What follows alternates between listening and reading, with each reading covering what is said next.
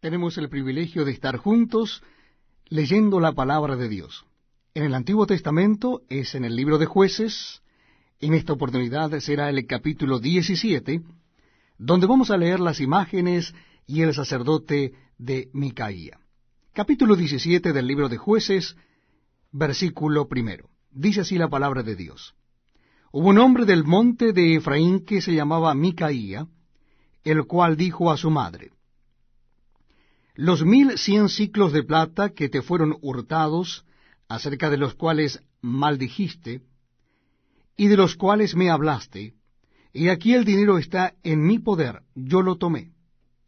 Entonces la madre dijo, Bendito seas de Jehová, hijo mío. Y él devolvió los mil cien ciclos de plata a su madre. Y su madre dijo, En verdad he dedicado el dinero a Jehová por mi hijo, para hacer una imagen de talia y una de fundición, ahora pues yo te lo devuelvo. Mas él devolvió el dinero a su madre, y tomó su madre doscientos ciclos de plata, y los dio al fundidor, quien hizo de ellos una imagen de talia y una de fundición, la cual fue puesta en la casa de Micaía. Y este hombre, Micaía, tuvo casa de dioses, e hizo efod y terafines, y consagró a uno de sus hijos para que fuera su sacerdote. En aquellos días no había rey en Israel, cada uno hacía lo que bien le parecía. Y había un joven de Belén de Judá, de la tribu de Judá, el cual era levita y forastero allí. Este hombre partió de la ciudad de Belén de Judá para ir a vivir donde pudiera encontrar lugar, y llegando en su camino al monte de Efraín, vino a casa de Micaía. Y Micaía le dijo, ¿De dónde vienes? Y el levita le respondió, Soy de Belén de Judá, y voy a vivir donde pueda encontrar lugar. Entonces Micaía le dijo, Quédate en mi casa, y serás para mí padre y sacerdote, y yo te daré diez ciclos de plata por año, vestidos y comida y el levita se quedó. Agradó pues al levita morar con aquel hombre, y fue para él como uno de sus hijos. Y Micaía consagró al levita, y aquel joven le servía de sacerdote, y permaneció en casa de Micaía. Y Micaía dijo, Ahora sé que Jehová me prosperará, porque tengo un levita por sacerdote. Les invito a que me acompañen en la lectura de la palabra de Dios. Estamos leyendo en el Antiguo Testamento el libro de jueces y en esta oportunidad es el capítulo 18. Capítulo 18 del libro de jueces encontramos a Micaía y los hombres de Dan. Capítulo 18 del libro de jueces. En aquellos días no había rey en Israel y en aquellos días la tribu de Dan buscaba posesión para sí donde habitar, porque hasta entonces no había tenido posesión entre las tribus de Israel. Y los hijos de Dan enviaron de su tribu cinco hombres, de entre ellos hombres valientes, de Sora y Estaol, para que reconociesen y explorasen bien la tierra. Y les dijeron, Id y reconoced la tierra estos vinieron al monte de Efraín hasta la casa de Micaía y allí posaron. Cuando estaban cerca de la casa de Micaía, reconocieron la voz del joven levita, y llegando allá le dijeron, ¿Quién te ha traído acá? ¿Y qué haces aquí? ¿Y qué tienes tú por aquí? Él les respondió, De esta y de esta manera ha hecho conmigo Micaía, y me ha tomado para que sea su sacerdote. Y ellos le dijeron, Pregunta pues ahora a Dios para que sepamos si ha de prosperar este viaje que hacemos. Y el sacerdote les respondió, Id en paz, delante de Jehová está vuestro camino en que andáis. Entonces aquellos cinco hombres salieron y vinieron a Lais, y vieron que el pueblo que habitaba en ella estaba seguro, ocioso y confiado, conforme a la costumbre de los de Sidón, sin que nadie en aquella región les perturbase en cosa alguna, ni había quien poseyese el reino.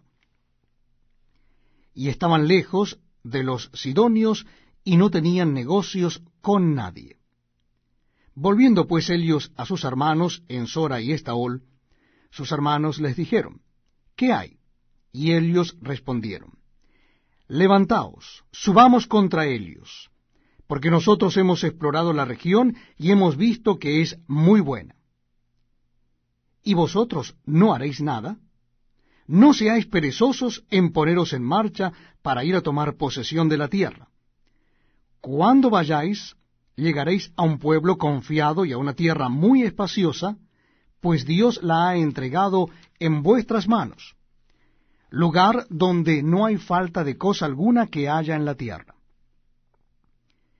Entonces salieron de allí, de Sora y de Estaol, seiscientos hombres de la familia de Dan, armados de armas de guerra fueron y acamparon en Kiriat Jearim en Judá, por lo cual llamaron a aquel lugar el campamento de Dan hasta hoy. Está al occidente de Kiriat Jearim. Y de allí pasaron al monte de Efraín y vinieron hasta la casa de Micaía. Entonces aquellos cinco hombres que habían ido a reconocer la tierra de Lais dijeron a sus hermanos, ¿No sabéis que en estas casas hay efod y terafines, y una imagen de talla y una de fundición? Mirad, por tanto, lo que habéis de hacer. Cuando llegaron allá, vinieron a la casa del joven levita en casa de Micaía, y le preguntaron cómo estaba. Y los seiscientos hombres que eran de los hijos de Dan estaban armados de sus armas de guerra a la entrada de la puerta. Y subiendo los cinco hombres que habían ido a reconocer la tierra, entraron allá y tomaron la imagen de Talia, el efod, los terafines y la imagen de fundición, mientras estaba el sacerdote a la entrada de la puerta con los seiscientos hombres armados de armas de guerra. Entrando pues aquellos en la casa de Micaía, tomaron la imagen de Talia, el efod, los terafines y la imagen de fundición. Y el sacerdote les dijo, ¿qué hacéis vosotros? Y ellos le respondieron, Calia, pon la mano sobre tu boca, y vente con nosotros, para que seas nuestro padre y sacerdote. ¿Es mejor que seas tú sacerdote en casa de un solo hombre que de una tribu y familia de Israel? Y se alegró el corazón del sacerdote, el cual tomó el efod y los terafines y la imagen, y se fue en medio del pueblo. Y ellos se volvieron y partieron y pusieron los niños, el ganado y el bagaje por delante. Cuando ya se habían alejado de la casa de Micaía, los hombres que habitaban en las casas cercanas a la casa de Micaía se juntaron y siguieron a los hijos de Dan. Y dando voces a los de Dan, éstos volvieron sus rostros y dijeron a Micaía, ¿Qué tienes que has juntado gente? Él respondió, tomasteis mis dioses que yo hice, y el sacerdote, y os vais. ¿Qué más me queda? ¿Por qué pues me decís qué tienes? Y los hijos de Dan le dijeron, No des voces tras nosotros, no sea que los de ánimo colérico os acometan y pierdas también tu vida y la vida de los tuyos. Y prosiguieron los hijos de Dan su camino, y Micaía, viendo que eran más fuertes que él, volvió y regresó a su casa. Y ellos, llevando las cosas que habían hecho Micaía, juntamente con el sacerdote que tenía, llegaron a Lais, al pueblo tranquilo y confiado, y los hirieron a filo de espada, y quemaron la ciudad y no hubo quien los defendiese porque estaban lejos de Sidón y no tenían negocios con nadie. Y la ciudad estaba en el valle que hay junto a Bet Rehob. Luego reedificaron la ciudad y habitaron en ella. Y llamaron el nombre de aquella ciudad Dan, conforme al nombre de Dan su padre, hijo de Israel, bien que antes se llamaba la ciudad Lais. Y los hijos de Dan levantaron para sí la imagen de Talia.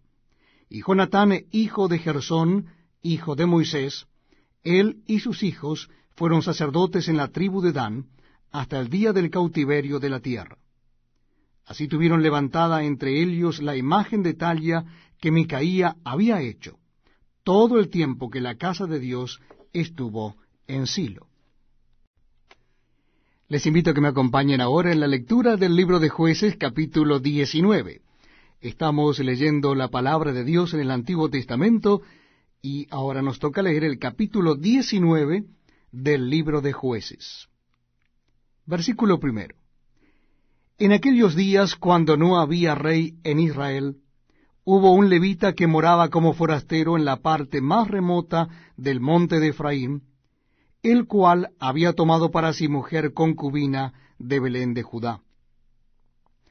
Y su concubina le fue infiel. Y se fue de él a casa de su padre, a Belén de Judá, y estuvo allá durante cuatro meses.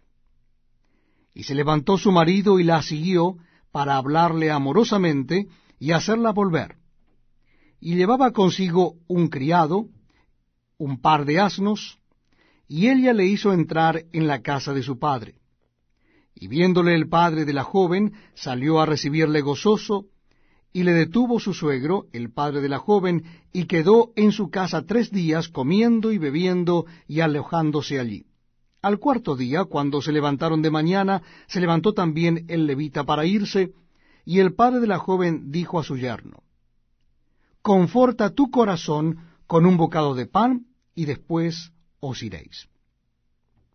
Y se sentaron ellos dos juntos, y comieron y bebieron, y el padre de la joven dijo al varón, Yo te ruego que quieras pasar aquí la noche, y se alegrará tu corazón.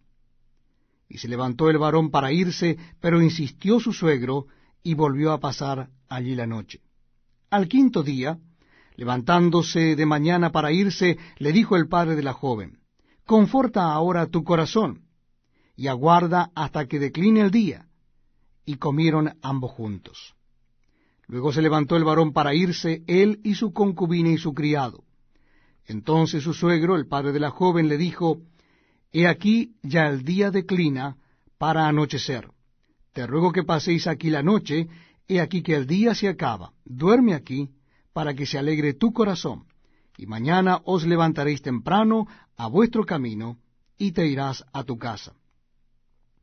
Mas el hombre no quiso pasar allí la noche, sino que se levantó y se fue, y llegó hasta enfrente de Jebús, que es Jerusalén, con un par de asnos ensillados y su concubina. Y estando ya juntos a Jebús, el día había declinado mucho, y dijo al criado a su señor, Ven ahora y vayamos a esta ciudad de los Jebuseos, para que pasemos en ella la noche. Y su señor le respondió, No iremos a ninguna ciudad de extranjeros, que no sea de los hijos de Israel, sino que pasaremos hasta Gaabá. Y dijo a su criado, Ven, sigamos hasta uno de esos lugares para pasar la noche en Gaabá o en Ramá. Pasando pues, caminaron, y se les puso el sol junto a Gaabá, que era de Benjamín y se apartaron del camino para entrar a pasar allí la noche en Gaba, y entrando se sentaron en la plaza de la ciudad, porque no hubo quien los acogiese en casa para pasar la noche. Y aquí un hombre viejo que venía de su trabajo del campo al anochecer, el cual era del monte de Efraín, y moraba como forastero en Gaaba. Pero los moradores de aquel lugar eran hijos de Benjamín. Y alzando el viejo los ojos, vio a aquel caminante en la plaza de la ciudad y le dijo, ¿A dónde vas y de dónde vienes? Y él respondió, Pasamos de Belén de Judá a la parte más remota del monte de Efraín, de donde soy. Y había ido a Belén de Judá, mas ahora voy a la casa de Jehová, y no hay quien me reciba en casa.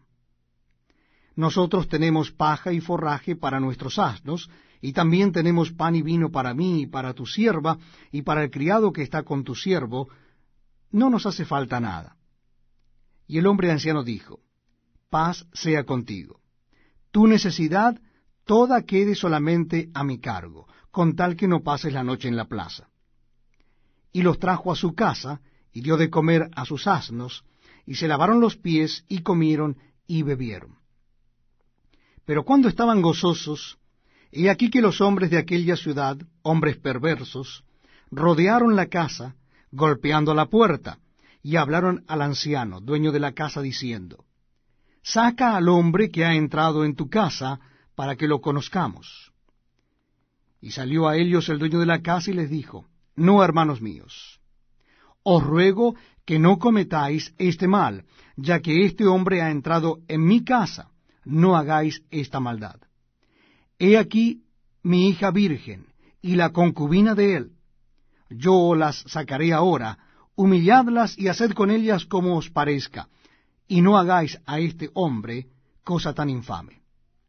Mas aquellos hombres no le quisieron oír, por lo que tomando aquel hombre a su concubina, la sacó, y entraron a ella y abusaron de ella toda la noche hasta la mañana, y la dejaron cuando apuntaba el alba.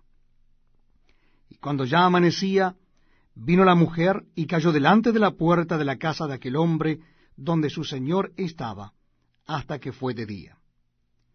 Y se levantó por la mañana su señor, y abrió las puertas de la casa, y salió para seguir su camino, y aquí la mujer su concubina estaba tendida delante de la puerta de la casa, con las manos sobre el umbral. Él le dijo, Levántate y vámonos. Pero ella no respondió. Entonces la levantó el varón, y echándola sobre su asno, se levantó y se fue a su lugar. Y llegando a su casa, tomó un cuchillo, y echó mano de su concubina, y la partió por sus huesos en doce partes, y la envió por todo el territorio de Israel.